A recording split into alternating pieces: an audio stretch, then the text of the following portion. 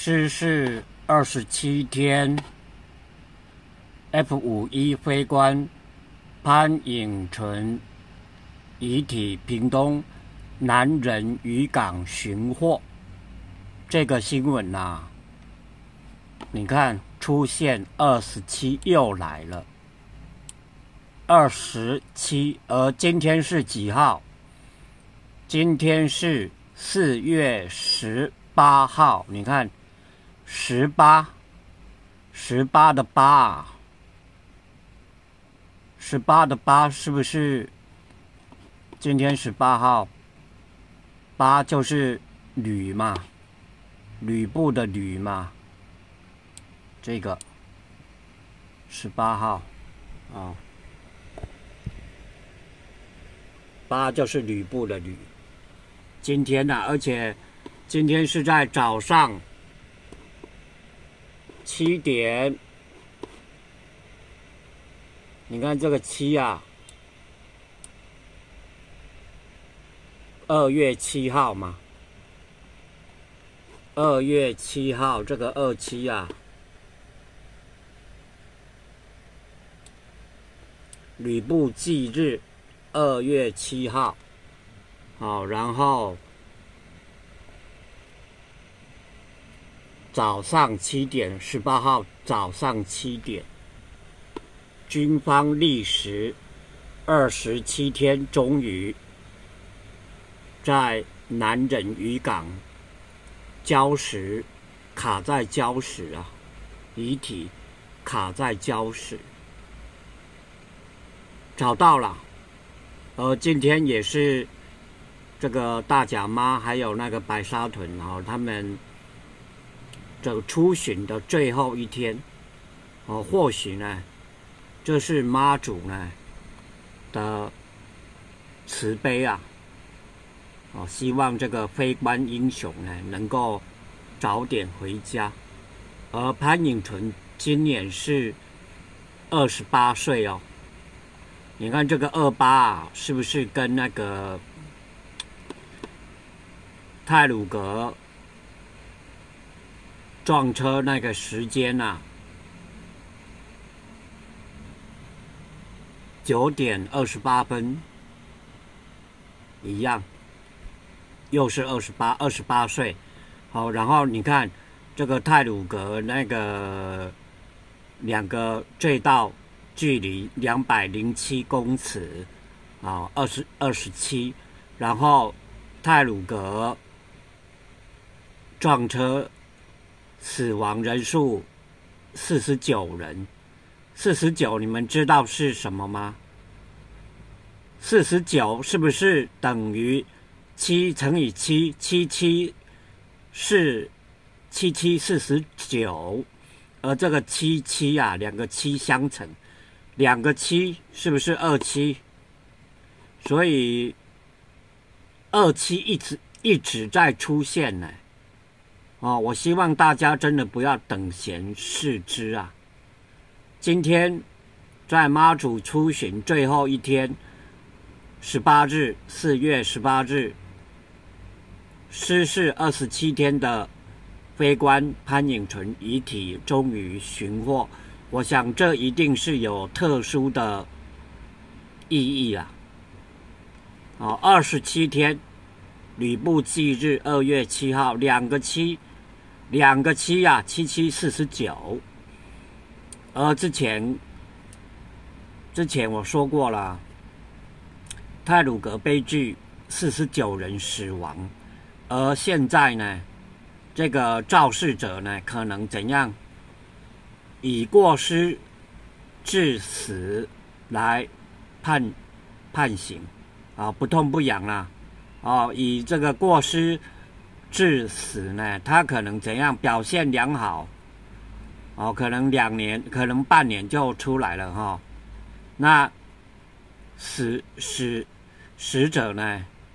哦，可以虽然可以领到一千五百万，哦，但是死状死的时候相当的凄惨，哦，而这个肇肇事者呢，可能半年后拍拍屁股就。没事啊，没事，哦，这还有天理吗？所以说，台湾的司法没办法改革，哦，然后导致啊这些为非作歹的人呢有恃无恐。哦，然后今天哦，是不是又又有那个一个很震撼我们的事情，也就是中央银行被评被评定为什么七 A 总裁那个彭彭淮南呐？哦，这民进党呃出书啊啊批评呢，这二十年来呢，导致台湾的人才外流，哦，每次啊外资股市投资呢，外资如果大卖或撤出呢，台湾股市就大跌，哦，然后又造成台湾房市这个高涨。这一切的罪魁祸首，原来就是中央总裁彭淮南。老实说了，我很早以前就觉得这个人怪怪的。哦，为什么？如果说彭淮南做做对了对台湾的事，哦，他所作所为对台湾是好的，那为什么没有那个南影的人来批评他呢？哦，对不对？我很久以前就一直在观察，说为什么南影的人都不不去骂那个彭淮南呢？我觉得很奇怪，因为你看南影他们南影啊，只要你只要绿营或者不管是绿营，只要你对台湾有利，发生你说所作所为，你只要对台湾有利的，你都会被南影。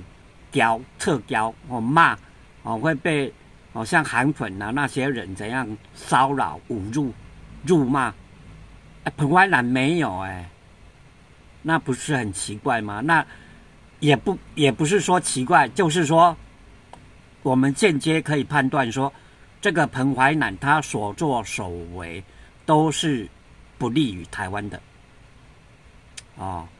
那你看哦，中共也也没有批评他哦。你看，像那个馆长，他只因为批评中共，他就被 biang bang 几乎被打死呢。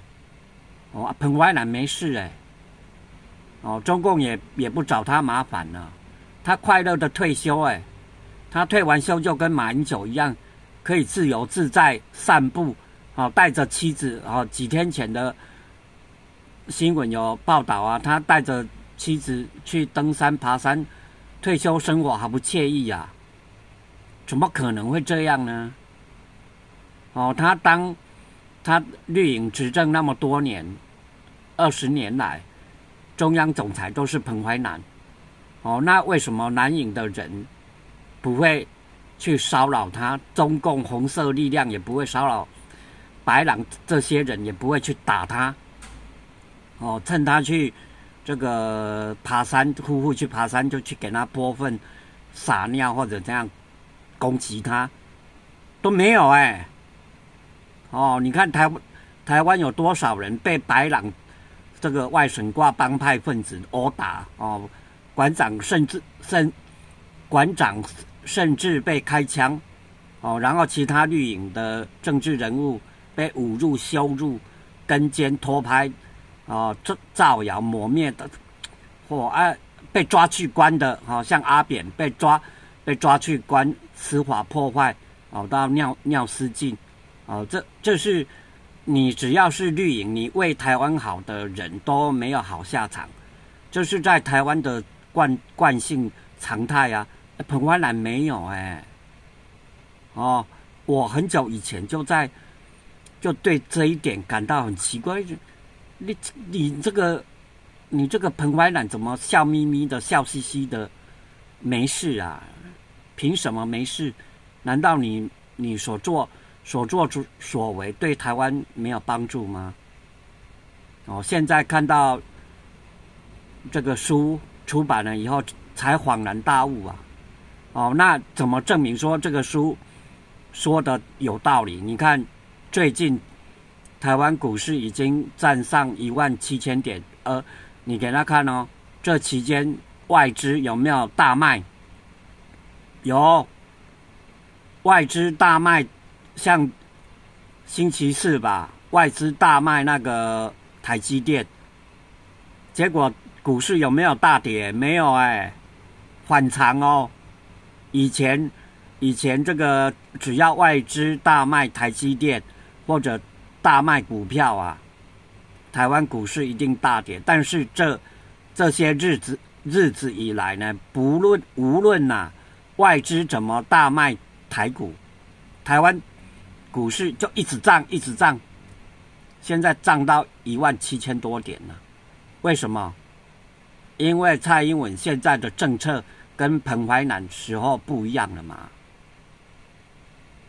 以前彭淮南他就是一直压那个台币，不让不让台币升值嘛。那这个蔡英文有没有？没有啊，台币曾经升到二十七块多。就是台彭淮南彭淮南那个时代没有啊，都一直把台币压在三十二块那边呐。有彭淮南的政策呢，对于台湾的出口业有帮助嘛？哦，因为台币贬值嘛，啊，出口业有利呀。哦，那但是出口业赚钱呐，厂商赚。赚钱，但是台湾一般老百姓苦哈哈嘛，因为台币不值钱呐，哦，台湾人也不敢出去玩呐，哦，苦哈，除非你是很有钱的人，哦，但但是蔡英文这这一年来不一样啊，让台币升到曾经升到二十二十七块，哦，你看二十七块啊，又是这个二十七，哦，结果怎样？就自从。蔡英文让台币升到二十七块呢？怎样？哇！台湾台湾股市就一路往上冲啊！现在冲到一万七千点了，所以证明呢，这个彭淮南这个人的真正有问题啊！这个人真正有问题啊！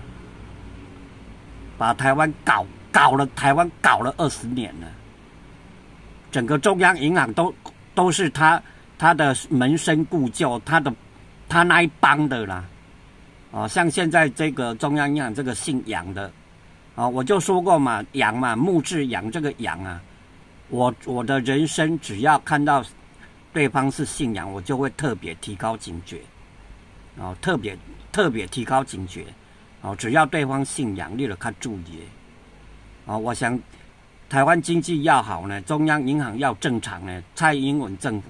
你赶快把这个信仰的把它拉下来啊！这个这个也是彭淮南的党羽嘛。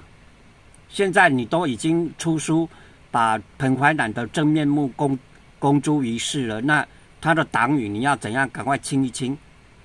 哦，现在蔡政府最没办法动手的就是什么司法，还有金融。这司法界跟金融界这个也也。这个啊，就是外省人南营要牢牢抓住的两个两个重要的堡垒，这两个他们如何都不会放弃哦，因为只要没有金融就是钱嘛，哦，你没有掌握钱的话，你就没你就没办法怎样找杀手干坏事啊，所谓有钱能使鬼推磨。所以这个外省人呐，一定要掌握这个金钱，所以金融这一这个他绝对不放，啊，所所以现在绿营为什么要出书？他就是想要把把这个金融界的黑幕呢公诸于世，想要用我们舆论的力量来达到改善，把金融呢还给台湾的。还给台湾民众，哦，一定是很困难的啦，因为外省人不可能放。第二个就是司法，外省人也不放，因为为什么？因为要用司法来搞死那个，搞死那个反对他们的政治人物嘛，或政党嘛，用司法来搞搞死这个绿营嘛，搞死民进党，搞搞死其他反对蓝营的司法，他们也绝对不会放。哦，所以说要走的路还很长呢。哦，但是呢，你看今天二十七天呐，微观潘颖纯遗体找到了，所以说这么多二十七呀出现呢，连那个泰鲁格死亡人数四十九人，七七四十九，两个七相乘等于四十九，都都跟二七有关的，所以我想呢，台湾的一切问题，吕布大神都很关心呐。台湾如果要好，我想真的是大家要还给吕布一个公道哦，那你看台湾最近都没有下雨，哦，大家都都在那边祈雨啊，哦，像台南台南永康今天也有庙在那边做法了，说要祈雨啊，哦啊，台中也有啊，好啊，到处都有啊啊，妈祖出巡，然后以以前说。只要妈祖出巡就会下雨，结果呢，什么雨也没有啊，嘛是叫熊大哭哭。哦，告诉各位啦，要怎样才能让台湾下雨？很简单嘛，咱关键关键就在吕布大神嘛。只要执政者你肯还给吕布大神一个公道，我我告诉你，马上怎样？雨呢下个好你用呢下个好你冻袂掉哈，噼里啪啦噼里啪啦，不但下雨还给你打雷哈，打雷庆祝啊，噼里啪啦啪哦啊，要怎样还给吕布公道？就是你不要再再推出那些什么乱七八糟的，老是在那边说什么呃刘关刘备张宇关飞曹操我搞我搞啊呢？啊，上面是三姓家奴啊，欧北梅那个，你你再讲一次三姓家奴看看，那真正台湾的永无宁日啊！有大你你啊，讲了底下讲什么三姓家奴，哦，上面啥狼子野心啊，上面吕布有两个义父啊，那欧北公啊，啊，等下咱大大概呢，台湾的永无宁日，大大大概都这了二十七，诶，惨剧出现哦，要下雨，简单呐。蔡政府政府官员，赶快替吕布这个主持正义吧！好，谢谢收看。